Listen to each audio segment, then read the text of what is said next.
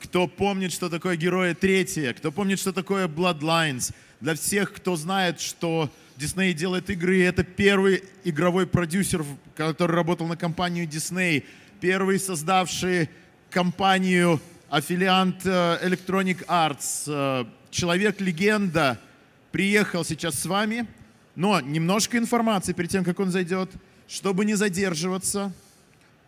Потом автографы и вопрос, может быть, если кто-то захочет, мы рядом будем раздавать всем желающим автографы. Всем желающим. Вы станете, вот тут столик рядом будет, мы сядем, и все желающие смогут с ним сфотографироваться и получить от него автограф. Если у кого-то не на чем своем, то и у нас будут такие листики специальные от Games Gathering. Поэтому после конференции, ой, после выступления Дэвида не задерживайтесь, занимайте очередь. Может быть, пишите смс чтобы уже занимали очередь. А, но и пишите всем своим друзьям, потому что сейчас для вас выступает самый легендарный из присутствующих здесь разработчиков Дэвид Мюлик.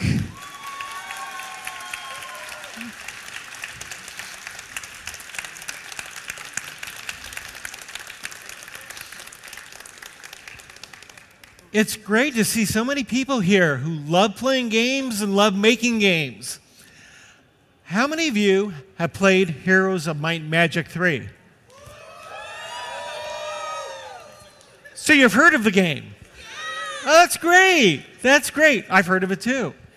Um, I'm here to tell you the story of how it came to be made and what we learned from it. And, but first, let me apologize that I only speak English. So I'm sorry that I, don't, I can't speak to you in your native language. But hopefully, we'll still have some fun together.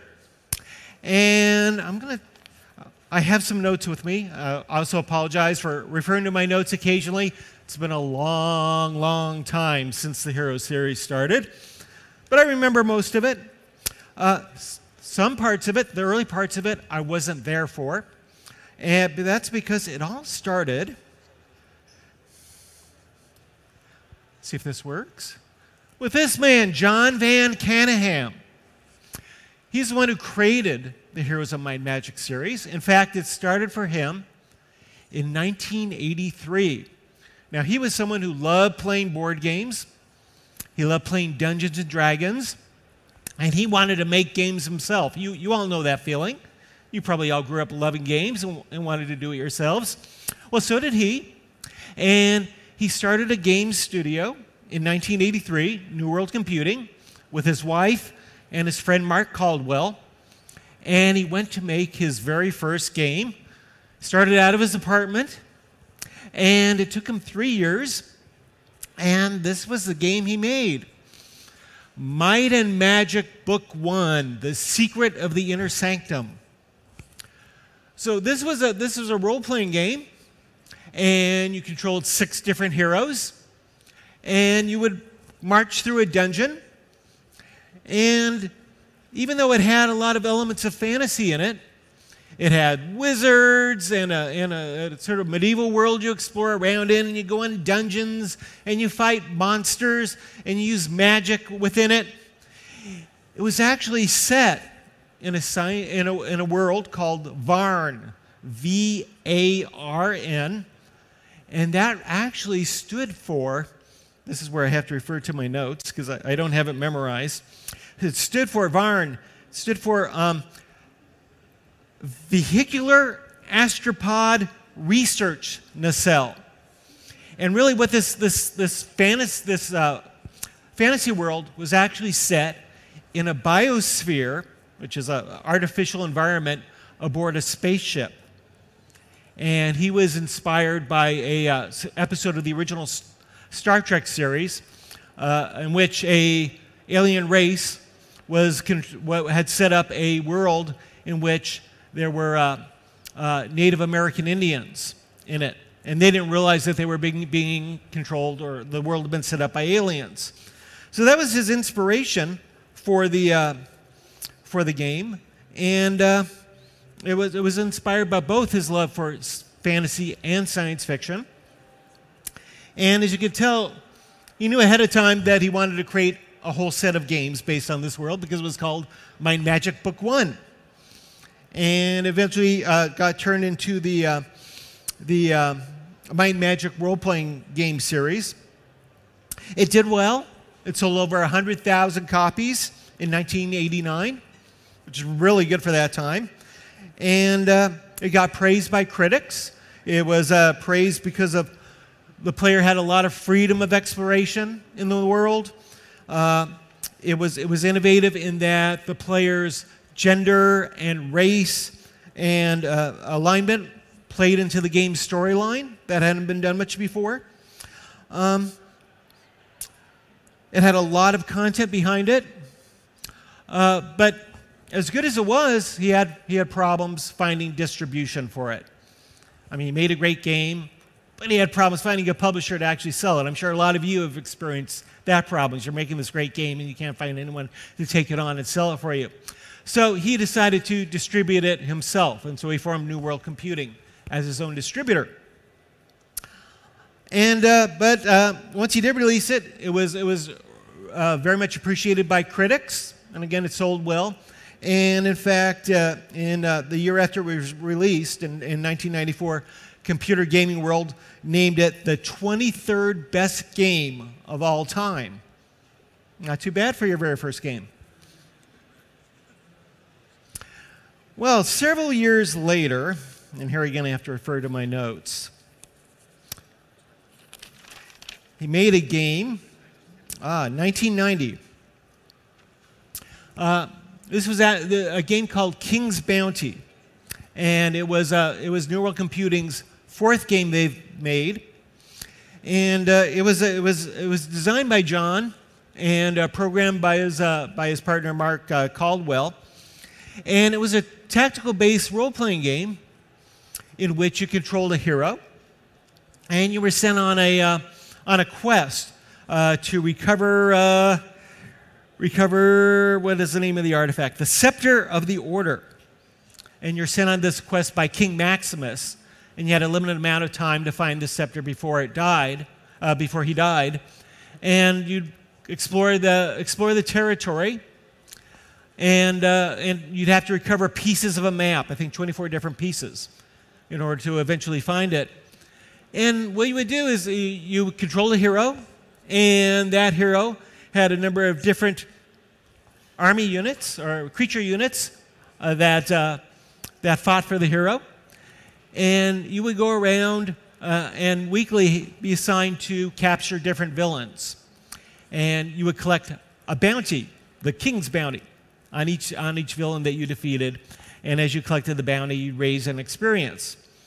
But it had a lot of, uh, lot of elements that we see in, uh, in the Heroes series, in that you did control a uh, hero, and that hero had a number of different, uh, different creatures fighting, uh, fighting on the hero's behalf. And even though this, this game uh, got kind of mixed reviews, it was known as being the inspiration for the Heroes of Might Magic series, the forerunner of it. And for that reason, we often refer to King's Bounty as Heroes of Might Magic Zero. Wasn't until five years later, though, that we had our, our first real Heroes of Might Magic game. It was called Heroes of Might Magic, a strategic quest. And it was a turn based strategy game that had some uh, role playing game elements.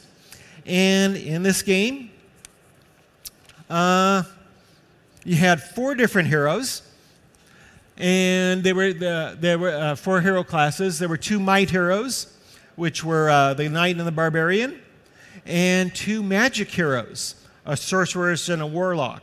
And of course, the uh, the the uh, the might heroes were, were very good at attack and defense, and the magic heroes were very good at spell casting. And uh, this was this was uh, set in the the might magic universe uh, the, the same universe that the Might Magic role playing games were based upon. And in it, uh, it used a lot of the characters that, uh, that we found in the, the Heroes of Might Magic role playing, uh, uh, sorry, the Might Magic role playing game. Uh, and it told the story of Lord Morgan Iron Fist, who had to flee his homeland through a magic portal because his, his cousin Ragnar had usurped the throne and uh, killed his father. So he, has, he finds himself in a strange land with few followers and therefore has a number of heroes who actually were, were more generals that would lead armies and try to reclaim the land for him. Um, again, it, it had a lot of elements from King's Bounty, but it incorporated many more adventure and simulation and war game elements. And in fact, the, the, uh, it, the game was praised for having all these different elements work so well together. Um, and then, uh, then also at, uh, uh, the, the graphics being all very bright and colorful also earned a lot of praise. Uh, although uh, its storyline, a lot of critics thought the storyline was a little bit weak.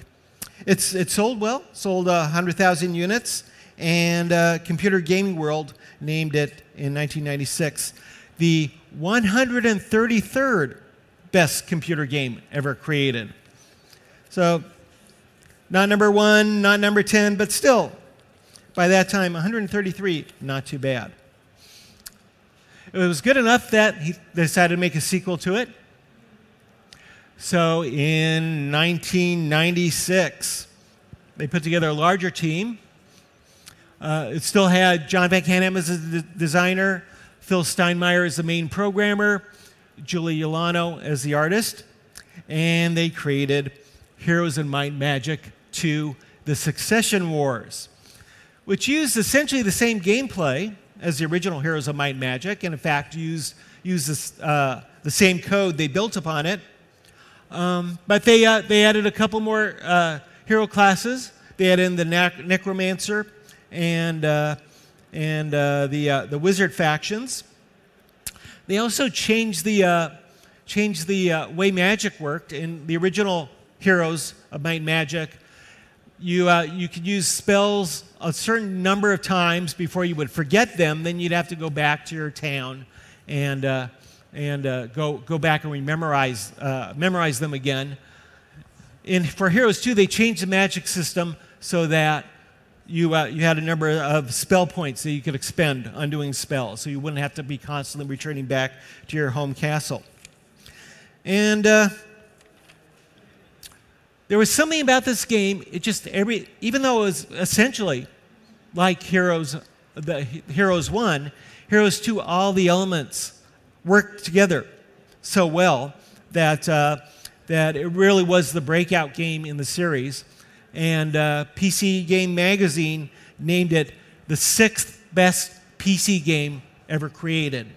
So, one of the, uh, one of the best um, games of all time.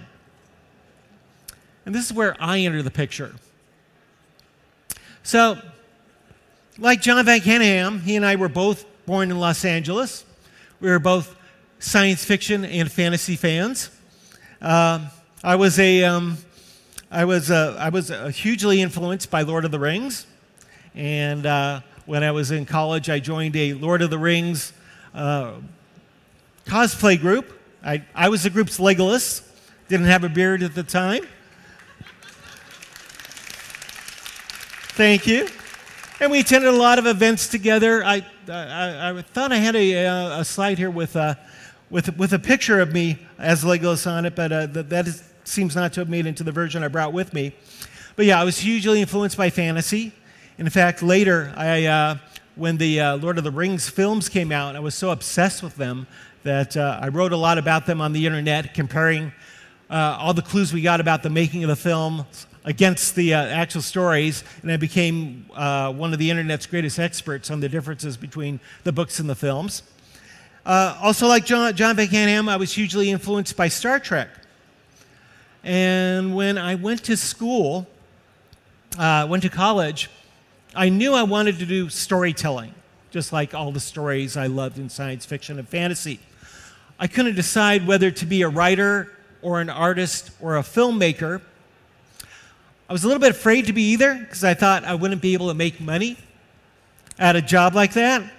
So I decided to try something more practical. I took a whole bunch of different classes in university, and I wound up taking a, uh, a programming class. And while I was, uh, while, I was in the computer lab, waiting to use the shared printer to print out my homework assignment, I started typing out a Star Trek game. And as it was working, it was a, it was a, it was a, a tactical game, much like classic Star Trek games, where you controlled a spaceship and you moved it around in a, in a, in a, in a, in a, a uh, space environment set up as a two dimensional space that you moved around in, avoiding Klingons, and you, you controlled shields and phasers and photon torpedoes, and a lot of it was about balancing your energy between those different elements. But as I was creating this game, I started realizing that the player was creating their own story by playing the game. But unlike watching a movie or reading a book, it was the player's decisions that affected the outcome of the story. So that essentially the player was the writer of the story that they were participating in. And that got me all excited about the idea of interactive fiction. And I got so excited by the idea, I immediately went and changed my major to computer science and, uh, and started studying computers. And about a year later, one of my programming professors caught me using the university computer to print out pictures of starships and generate poetry randomly. And he called me into his office. I thought I was going to get into trouble. But no, he offered me a job. He and a couple of the other professors had opened the, uh, the one of the very first computer stores ever to uh, open in Los Angeles. They sold Apple computers. And he offered me a job as a clerk in his store. And I started working there. And uh, doing that job, I met, met a couple of the very first game publishers. And one of them asked me to create some, uh, uh, if I'd be interested in, uh, in writing some games for them to publish. And I said, yes, please. And so that's, that's how I embarked on my career as a, uh, as a game developer. And it was, it was a pretty successful career. These are some of the early games I was best known for. My, my first, I'd say my, my earliest hit was called The Prisoner, based upon a British television series about a spy who's captured and taken to a remote village where they try to trick him, trick him into revealing why he resigned from his job. And so I created a game that was very much based upon that. Uh, it was uh, known for being very evil in trying to trick the player into, uh, into revealing uh, why they resigned. And uh, to, to simulate that in a game environment, I gave the, the player a randomly generated code that they were never to acknowledge, uh, they would never to type that number, they would never to make any selection containing that number. And I think the, uh, the trickiest part of the game is that uh, while you're playing the game, it would the, the game would suddenly appear to crash and it would say error at line number and give the line number that of the code that it crashed at. And any Apple user at that time would be tempted to write down list and then the line number, which would show them uh, the, the line number of the code where it crashed at. But it turned out the crash was not real, and that line number was our resignation code, and if they actually typed it out, they would lose the game.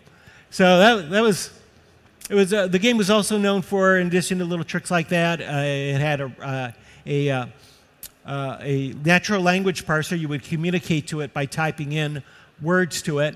And at that time, it was, it was considered very advanced. The game became sort of a, a cult classic.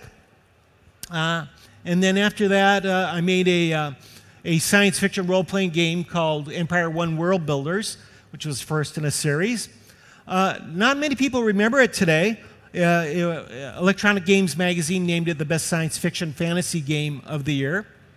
A few years after that, I, uh, I had my own company called Electric Transit. We did simulations that uh, taught people uh, useful knowledge and skills. We did a, a, wilderness survival simulation that developed with a couple of NASA JPL scientists that earned a number of different awards. It was also one of the very first games distributed by Electronic Arts, uh, as with us being its uh, an affiliated publisher for us. Ga- uh, even though the game won a lot of awards, uh, we ran into the problem that Electronic Arts made a lot of their mistakes, first mistakes as a publisher, on us. They, uh, they overestimated the number of orders and their, uh, the, that they wanted. Therefore, we overproduced copies of the game and, that they couldn't sell. And so that got us to a financial uh, problem that drove us out of business. But that didn't, that didn't uh, ruin my uh, career in the game industry. I went and joined uh, the Walt Disney Company as its very first video game producer. And I made a number of games, including DuckTales The Quest for Gold, which was based upon the DuckTales TV series. How many of you have seen that series? All right, good. Good, all right. So you know what I'm talking about. DuckTales, woo! and this told the story of, uh, of Scrooge McDuck versus Flintheart Glomgold, his arch nemesis, trying to. Uh, they were in a contest to earn as much gold as possible. I, I did the main game design on it. I worked with a uh, outside team called Incredible Technologies that did uh, that designed a lot of the individual adventures you'd go on, uh, and uh, uh, game did very well. I think it was one of the most popular games that Disney did in that era. And then I, after I spent four years at Disney, and then I went and joined another company that was very un-Disney-like. It was called Cyber Dreams and it worked with famous names from science fiction, fantasy, and horror. We worked with, uh, I worked with uh, Wes Craven, the director of Nightmare on Elm Street, uh, developing a horror game uh, that based upon uh, his concept. Worked with H.R. Giger, the artist who uh, is known for designing the alien from the film Alien, on a game called, called Dark Seed 2. But most successful game at that time I, I had was, uh, was I Have No Mouth and I Must Scream, based upon Harlan Ellison's short story. And uh, I worked with Harlan on developing the story for that, and I, I uh, turned, uh, turned the storyline into actual playable puzzles in, in, an, in an adventure game format. And this game did very well, it won a lot of awards. Around this time, I was invited over to the uh, Computer Game Developers Conference in San Francisco uh, by uh, Soft Talk magazine that had put together a famous panel, a panel of famous game designers.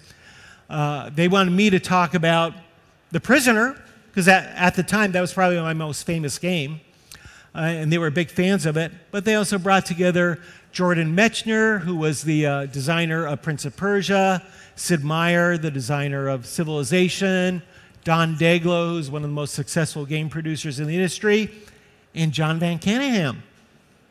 And uh, we, we talked on the panel, we, we, we talked to other game industry professionals about game design. And afterwards, Jon and I started talking together, and we said, you know, we ought to work together sometime. Sure, sure. But, you know, it's the type of conversation you have all the time with people. We, we ought to work together. Yeah, one day we'll do it, and that day never comes. Well, that day did come. Uh, a former uh, uh, a former uh, programmer who worked, uh, worked on uh, I Have No Mouth and Must Scream contacted me when, when Cyber Dreams shut down. It shut down because the, the owner of the company realized that he was making more money on his other companies than he was on, on video games. And the programmer said, they're looking for a producer for the next Heroes of Might Magic and New World Computing. Would you mind sending me your resume and I'll submit you as a candidate? So I did. Mm, they called me back, and I met with uh, Jon Van Caneghem and Mark Caldwell. And we had a lunch together, and they asked me to go and play Heroes of Might and Magic 2 and to see if I'd be interested in creating the sequel for it. And, uh, you know, that's an exciting proposition, but it's also a scary one because Heroes of Might Magic 2, as I said, PC Magazine had named it the sixth best PC game of all time. I couldn't possibly do better than that. I could only fail. That was my big fear. Because I, I, sat down and played it for a week, and there was just no way I could improve on the gameplay. But I looked at it, and I looked at the graphics, and I thought, the graphics, they're, they're cute, they're charming, they're colorful but they're, they're about five years behind the time. And I thought, the graphics could be much improved. So I thought that would be my main contribution to it. At least it, graphically, it would, it, would, it would look better than the previous one. And uh, so I went back to them and I said, I went back to Jon and Mark and I said, I'll do that. I'll, I'll, I'll, I'll, I'll produce the next one for you, but uh, I want to improve the graphics. And they said, I'm glad you said that because we're kind of unhappy with our art director. And, but she's been with us a long time and we don't want to don't want to get rid of her. So we want you to find a, a, new art director for it. So said, okay. And so they, they said there's one more, more thing you have to do. You have to talk to the head of our company. New world computing had been bought out the year before by the 3do company who was presided over by trip hawkins. Now how many of you know who trip hawkins is all right, I only see a couple of hands up. At the time, he was considered the most powerful person in the video game industry because he was the founder of Electronic Arts, which at the time was the biggest, uh, biggest video game publisher there was. And, uh, but after a few years of Electronic Arts, he wanted to create his own video game console that was would be a next generation console and it was called the 3DO player. But instead of manufacturing it, what he would do is create the design for it and then get other companies like Panasonic to actually do the manufacturing. Now, the problem is when you, uh, when you have somebody else do the manufacturing, they want to make a profit. And then his company, 3DO, his new company for making the console, they wanted to make a, uh, they needed to make a profit too. So when you have two companies working together, both trying to make a profit, it made the console very, very expensive. And while everyone agreed that it was a really good console, it was just too expensive, far more expensive than the Nintendo and the Sega systems that were out there. So it never sold very well, and they eventually stopped making it and he focused on doing what he knew best, which was being a software publisher. Um, but he bought uh, New World Computing to, to add to his library, and in fact, New World Computing games sold better than, uh, than uh, the, uh, the games that they made at 3DO corporate offices. Anyway, I was uh, with all New World uh, employees, we had to go, uh, the higher level ones, we had to go through an interview with, with Trip. And uh, so they set up an interview time with me. My, uh, we just had a, a, newborn baby, and my wife was away on an errand. And I'd put down the baby for a nap when it was time for me to talk to Trip. And so he called me up and started talking to me, and talking to me, and talking to me all about how great his company was and how great he was and how every single great idea in video games came from him. And during that time, he did not ask me one question. He just talked about him for two hours. Now, my baby had started waking up like an hour, a half hour prior and was crying and I kept saying, I, I can't hang up on the most powerful person in the video game industry. But eventually I said, uh, I, I got to go. I'm, I, I got to see my baby. I said, oh, oh, okay, okay. So I, I put down the phone and got to my ba- uh, got, took care of my baby. But I got the job. He, he gave a stamp of approval. And so I went to work for New World Computing in September 1997. And on that same day, they had, uh, they had hired Greg Fulton to be the lead designer on it. He and I had never met before.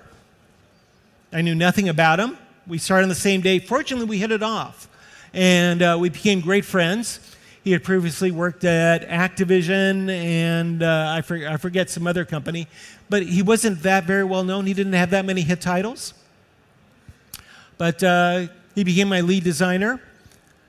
My next task was to find an art director because, again, they were unhappy with their current art director. So, what I decided to do, I, I, went down, I had a meeting with every single artist at New World Computing. There were like 25 artists there. And I sat down for five minutes with each one. And they were all pretty much the same. They liked being here. It was a pretty easy job. You could go, you really didn't have to do anything until like the final two weeks of the project, and that's when management started to get real, real anxious, and then you had to do a lot of work. But the rest of the time, you could kind of goof off.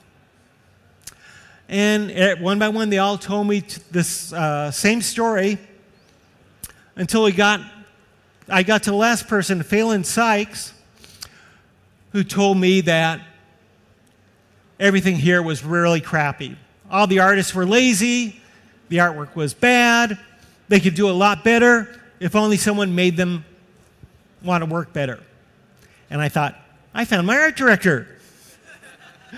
As it turned out, I didn't, I didn't even know it. She was the best artist in the company. So I brought on to be the art director. And then they did give me an employee to be my programmer, George Ruoff, who had worked on Heroes of Might Magic 2. He wasn't the main programmer, Phil Steinmeyer was, but he had done some programming on it. And uh, so I thought he had a lot of expertise on it. After a couple of weeks, though, I discovered he was a very, very, very junior programmer. Uh, and he wasn't up to the task. In fact, he was, uh, I, I, could only give him very low level programming duties. So I had to find a, uh, a, a, new art director, uh, sorry, new, new lead programmer. And so I reached back to my Cyber Dreams days and brought in a programmer who had worked on I Have No Mouth and Must Scream, and that's John Bolton. And I got to apologize for these photographs. I have almost no photographs from the New World Computing era. So this is, this is Greg from several years before he joined New World, and that's Phelan from about 20 years after New World. And this is, uh, this is from a group photo with John from way in the back. But anyway, these people form my core team. And we all got along great with each other. And I think that's the main reason why Heroes 3 was a success is that the art and the programming and the design all worked very well together because we as a team all worked well together. On the design side, we, uh, we, made, we basically used the, the, the same system as, as Heroes of Might Magic 2. Uh, we decided the direction we'd go in is we'd add more content to it. So we increased the town types from six to eight by adding a couple new character classes, uh, more creatures uh, they can control, a lot more heroes, and each one of those had a special ability. Uh, instead of having separate magic and, and might towns, each town would have uh, magic and might heroes associated with it. Uh, we, uh, we changed the magic system so that it had a number of different schools of magic. Um, we added in war machines for combat. In the previous Heroes, you just had a catapult for, uh, for breaking down castle walls, but we added a, we added a, a war wagon and a number of different other, other uh, machines you could buy.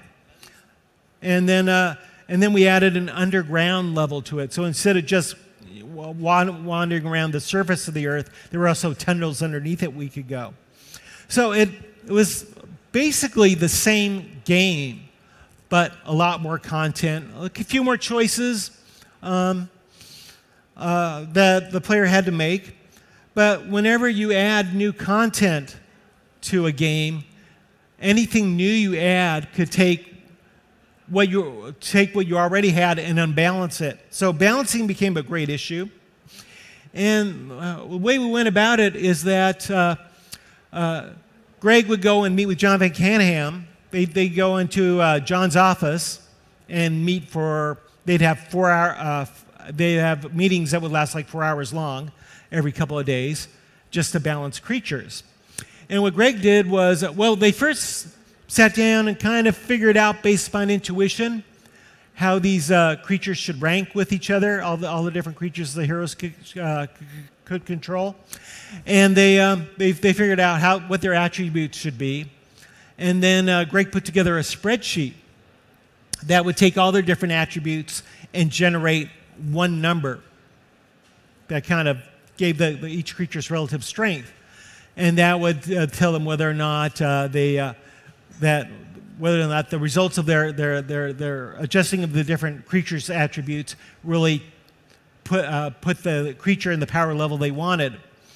So, first, based upon intuition, then using mathematics to, to kind of validate what it is that they guessed.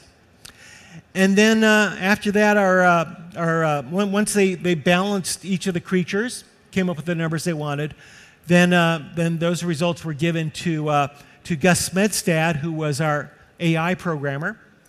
And he'd make further adjustments. He'd, he'd go and put these creatures in and do a, he'd create a Bennett battle simulator and have each one fight against each other.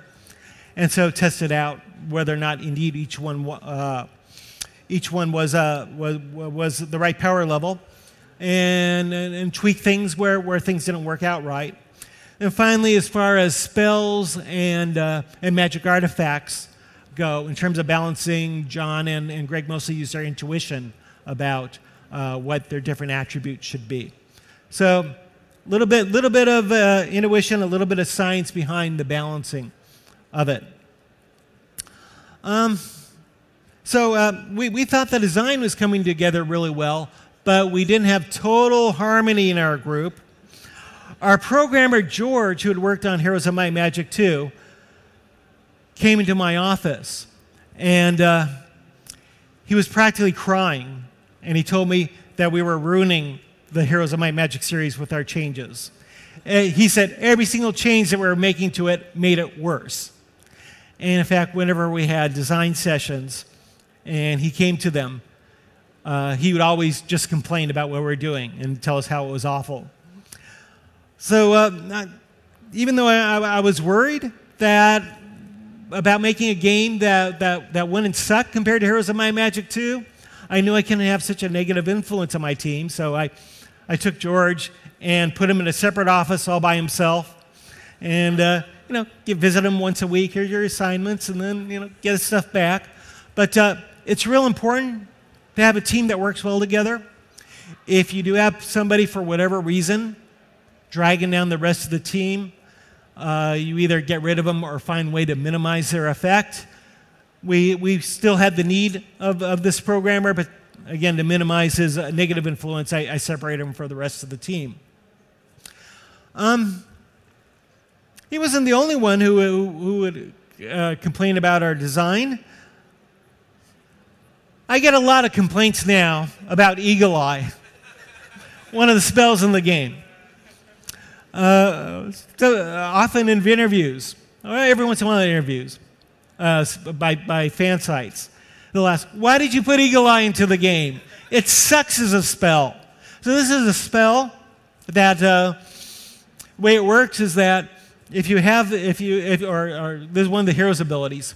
If you have this ability, and you're in combat, you have a small percentage chance of, get, of learning one of the weaker spells from your opponent. And so uh, it wasn't all that useful. So, I, in response to this, I have to say, I know. I've heard it a lot. Yes, I know you think Eagle Eye sucks. We didn't invent it. It came from Heroes of Might Magic 2. We just, we just brought it over. And you know what? It's okay in a game to have some things that are underpowered.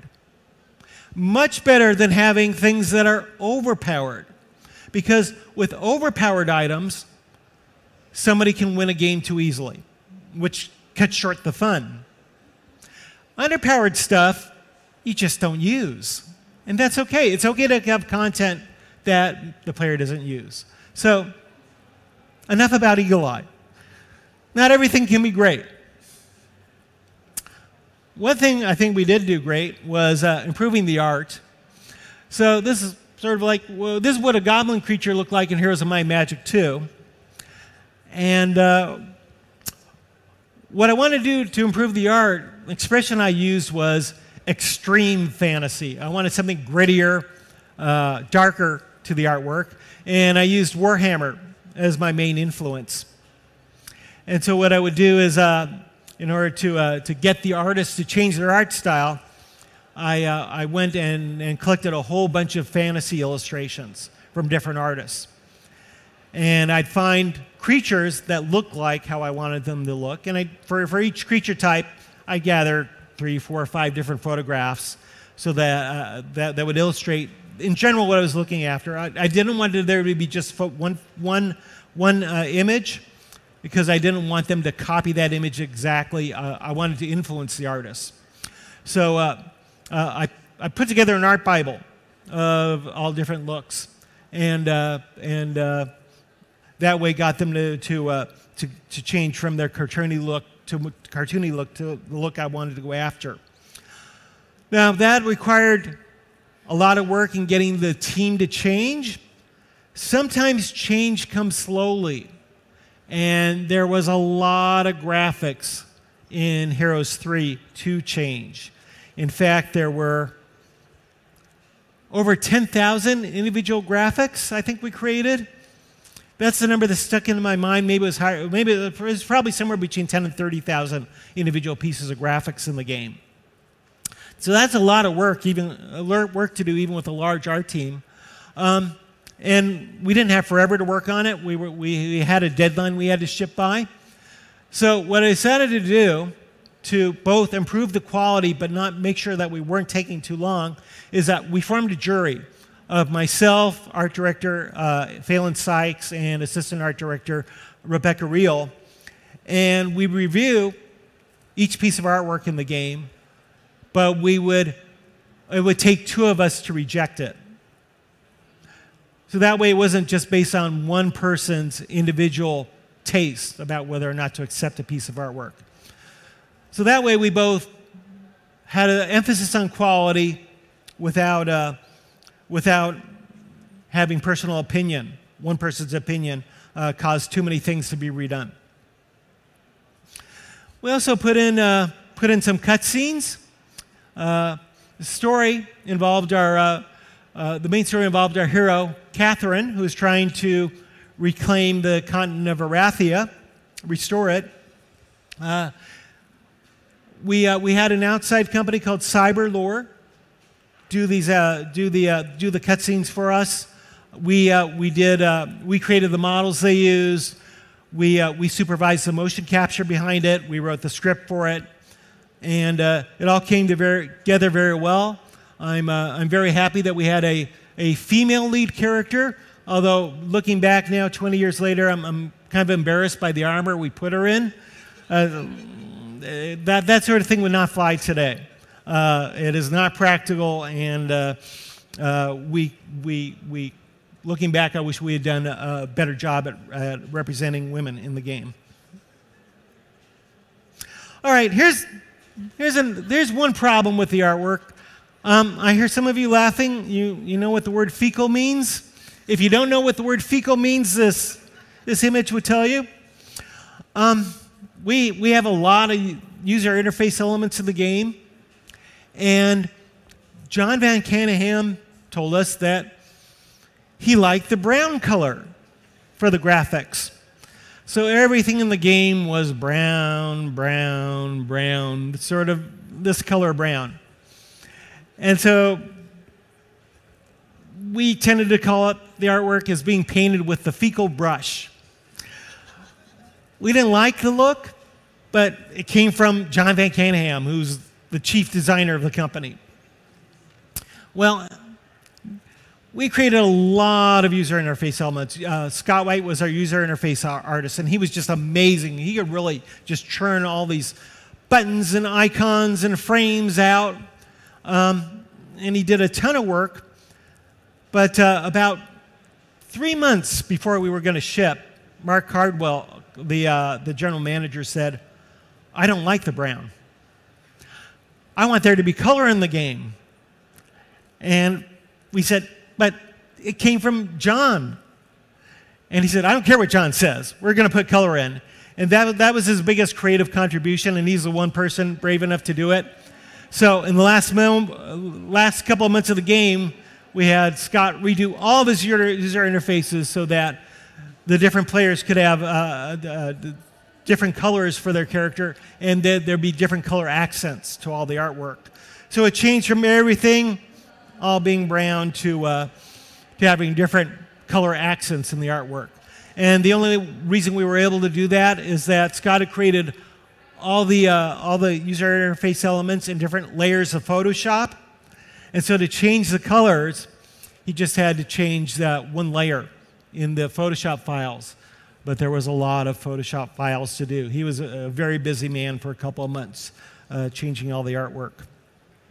As far as programming goes, we basically used the game engine that Phil Steinmeyer created. Uh, we did have a number of other programmers who worked on the project uh, to add in additional features to it or improve the features that were there. There is a story. Normally, I wouldn't tell it because it's kind of a, an embarrassing one, but uh, I, I, think uh, some, somebody on the team already told this story, so I'll, I'll share it with you. Right before we were, uh, while we were working on Heroes of Might and Magic, PopTop Software was coming out with a sequel to uh, Sid Meier's uh, great game, Railroad Tycoon, what I consider to be one of the greatest strategy games of all time. But PopTop Software got the rights to do a sequel to it, and uh, they didn't have Sid involved in it. Instead, they hired Phil Steinmeyer, the programmer on Heroes and Heroes 2, to both design because he fancied himself as a game designer. He actually claimed to have co designed Heroes of Might Magic 2. Uh, when Jon Van hears that, he laughs. Uh, he had some suggestions. He did not design the game. But uh, Phil designed Railroad Tycoon 2, and uh, about a month before it was to come out, they released a demo of it. So we were curious to see what Phil had done. So we, uh, we downloaded the demo and we looked at it and we said, you know, kind of the movement of characters in it looks a lot like how the horses move in Heroes of Might Magic 2. And some of the scroll bars look quite a bit like the, uh, the scroll bars in Heroes of Might Magic 2. So, uh, so George, our programmer, decompiled the code and saw a lot of Heroes 2 references in it and uh, Phil had used the game engine he created for uh, Heroes of Magic, Magic 2. Problem with that is that the engine was New World Computing's property. And so uh, uh, Mark Caldwell, our general manager, had 3DO's lawyers contact PopTop Software and said, You are using our intellectual property without permission, and we are going to sue you. Now, this was a month before they were going to release a major title. So uh, this was quickly settled out of court for an undisclosed sum. I hear rumors was for over a million dollars. Um, word of warning to you copyright is a real thing. Be careful about using anyone else's intellectual property, whether that be music, sound effects, audio recordings, code, art, without the creator's permission uh, because uh, copyright infringement can be a real thing, and it certainly was a real thing for uh, PopTop software.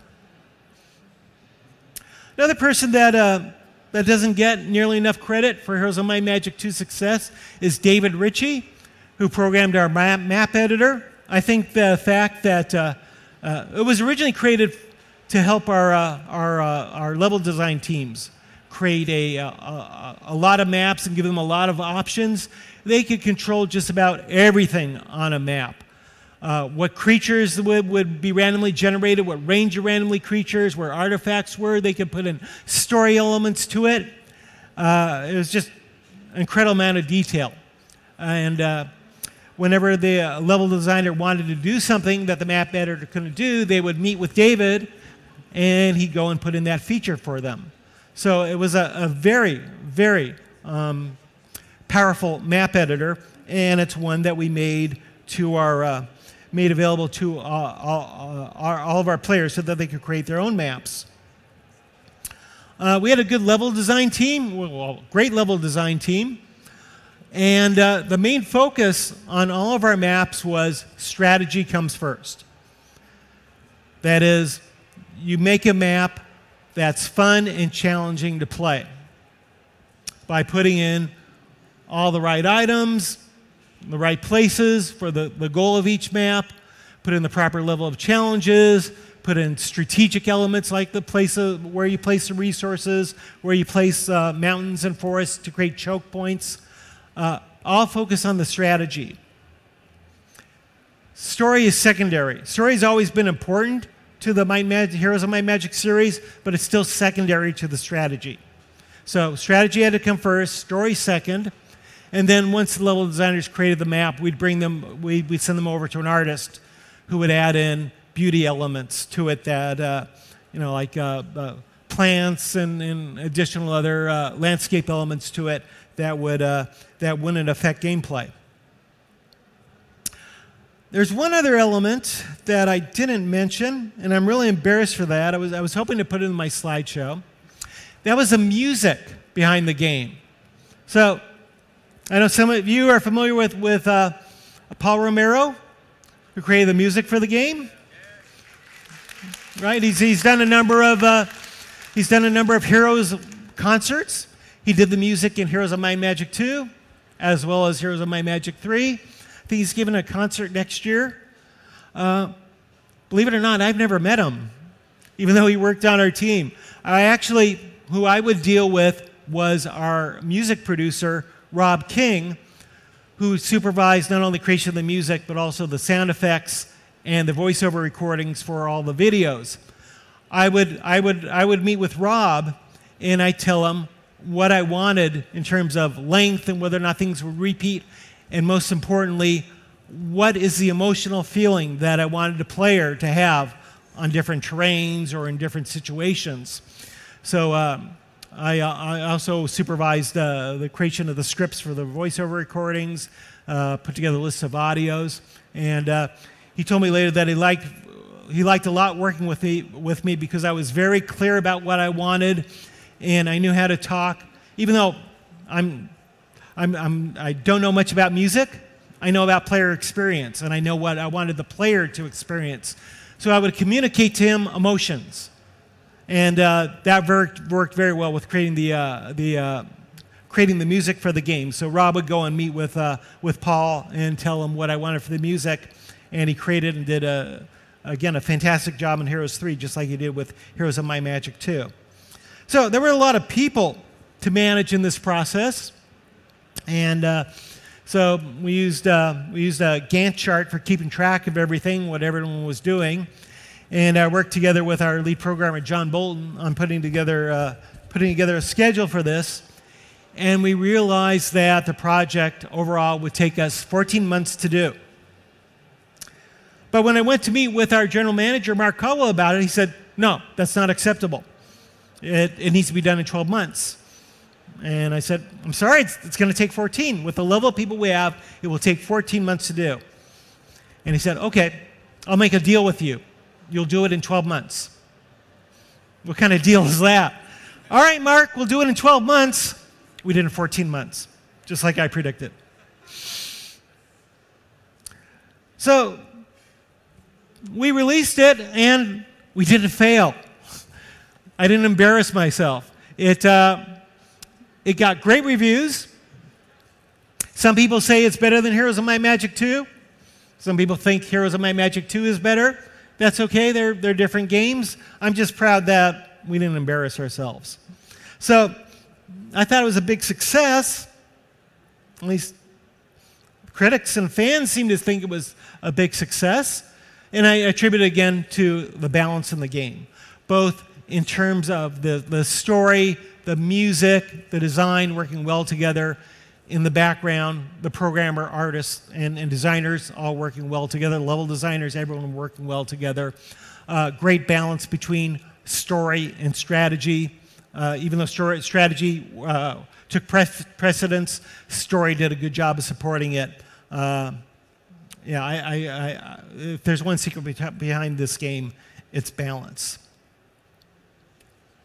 But not everyone agreed that we did a good job. Actually, George, the programmer, he turned around and realized that, that we hadn't ruined the, uh, the, uh, the, the, franchise with it. But uh, when it came time for my annual review with, with my boss, Mark, he called me into his office and I went in, thought maybe getting a medal or something for, for making a, a, a good game. His first words out of his mouth was, Well, I'm not going to fire you. And I, I laughed. I thought it was a joke. Now, he wasn't joking. He said, I'm not going to fire you, but I'm unhappy with the job you did.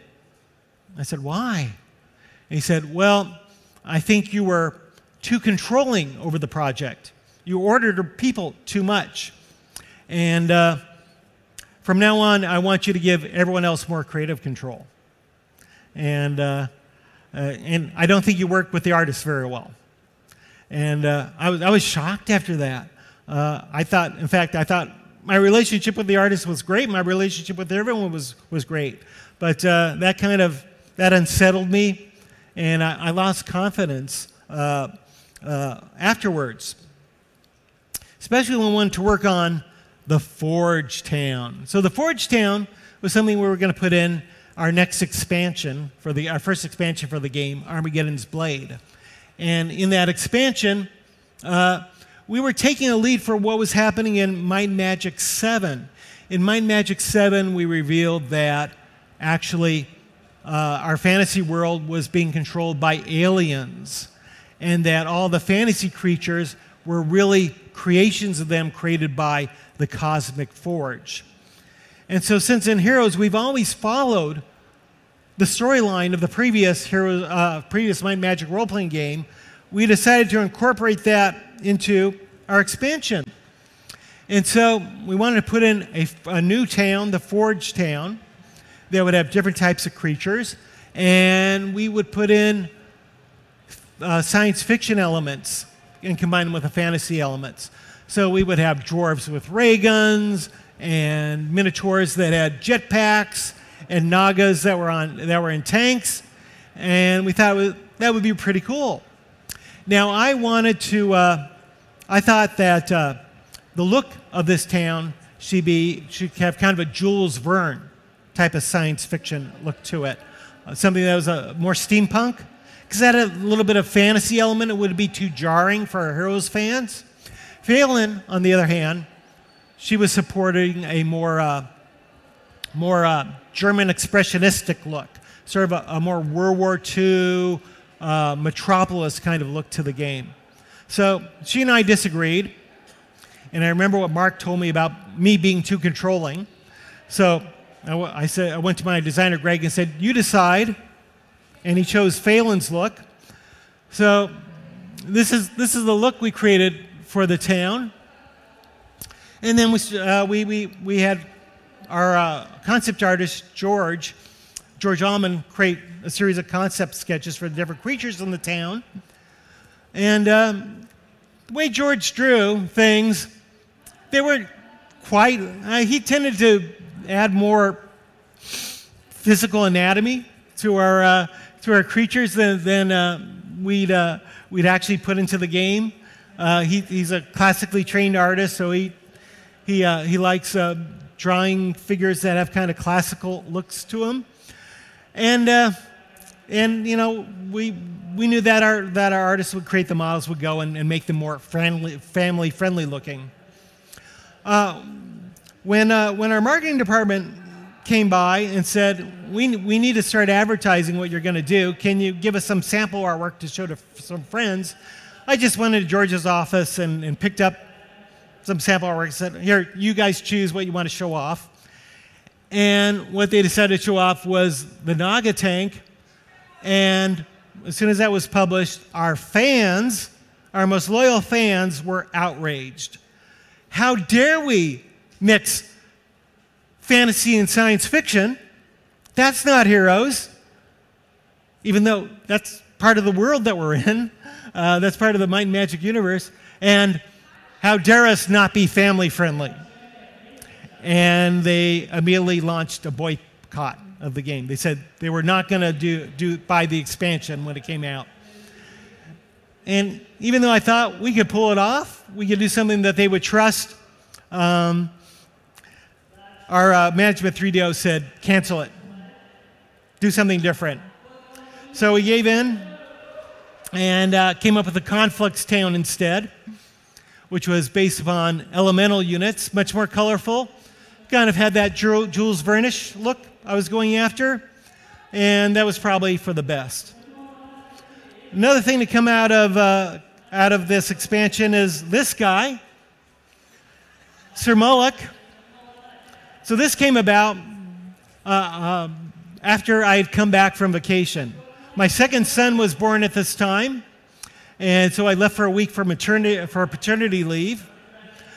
And when I came back, I found my office all filled with balloons from the team. And they came in and said, We have another surprise for you. We hope you don't get too mad about it. So they brought me over a computer and they showed me Sir Mullich. Generally stoic, Sir Mullich is prone to spasmodic fits of uncoordinated excitement believed to intimidate his troops into working harder. So they were poking fun at me of being uh, the leader of the team. And I looked at it and I laughed and I said, okay, you can put this in the game. This picture actually came from, I think, here, here uh, Might Magic 6, where we had, a, we had a, they had a group of townspeople that would give uh, thumbs up or thumbs down to your quests. And, uh, and uh, I was one of the townspeople in that game. I don't own this costume. I'm sorry, I don't own the hat. This is a, this is a cosplay outfit from uh, one of our artists that they had me wear for this. I keep thinking I, I should make a copy of the hat to, uh, to wear, but uh, it's one of a, a, number of other heroes that, uh, that based upon uh, New World Computing folks. Crag Hack is a character that is in all, uh, all of the Heroes of Might Magic games. It's based upon uh, Jon Van Caneghem's Dungeons and Dragons character. Sir Christian is based on assistant producer Sir Christian. Anitas, based upon concept artist George Almond.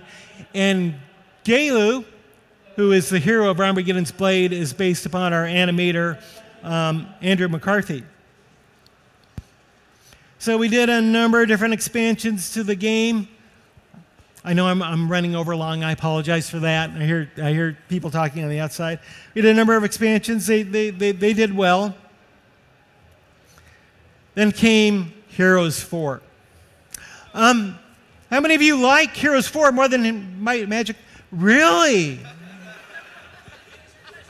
A lot of people tell me that it's much worse. I could spend another hour talking about Heroes 4 and all the problems we had with that. Everything on Heroes 3 went perfectly. It was a pleasure. This, this was miserable to work on because the team kept fighting. We, we, we lost uh, Greg Fulton and George Bolton had quit the company because they had issues with the management. Uh, Phelan was assigned to a different project. I brought in some new, new people. They had different ideas. I, although I think the biggest change to it, uh, reason why some people don't like Heroes 4, is always a challenge when you make a sequel. You have to, what do you keep from the original, previous versions that people liked but change it enough to make it worth buying the sequel. That's always a tough decision. My idea was to take the hero, I mean, it's called Heroes of Might Magic, not Generals of Might Magic. Let's put the heroes on the battlefield and have them fight. Turns out by doing that, it made it more of a role playing type of game uh, than it was before. Some people liked it, some people didn't. Um, I was, uh, I was uh, uh most people tell me they, did, they didn't like the game, but I attended a, a LARP meeting the other night here in, in Kiev.